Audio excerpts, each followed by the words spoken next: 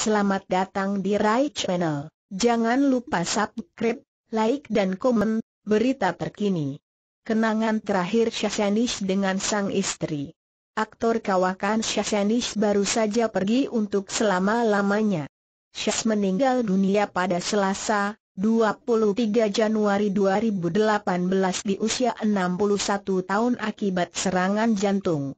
Kepergian Syahsanis yang mendadak membuat sang istri, Santi, masih setengah tak percaya kalau suaminya sudah tiada.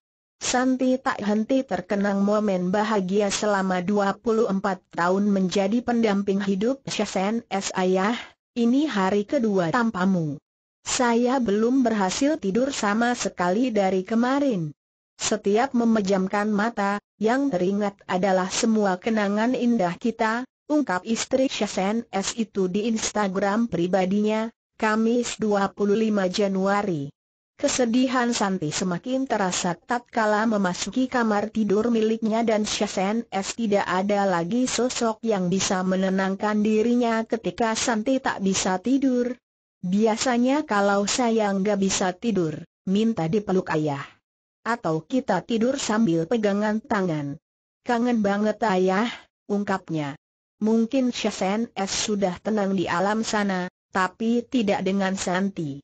Tanpa terasa, air mata mengalir ketika Santi teringat semua momen yang ia lalui bersama Shasen S. Ayah udah tenang di sana, tapi saya kehilangan banget Air mata ini kadang menetes tanpa terasa saat sendirian, sambung Santi.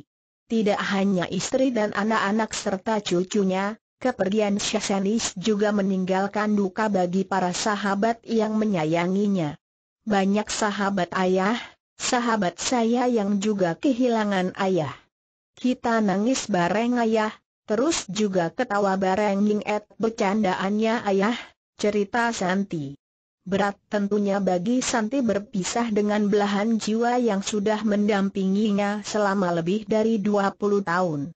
Apalagi, sehari sebelum kepergiannya, Syahsanis baru pulang liburan bersama Santi ke Solo, Jawa Tengah.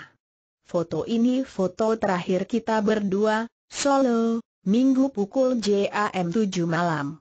Kenapa ya ayah hari Senin kita nggak foto berdua? Miss you so much, ungkap ibu tiga anak itu. Terima kasih,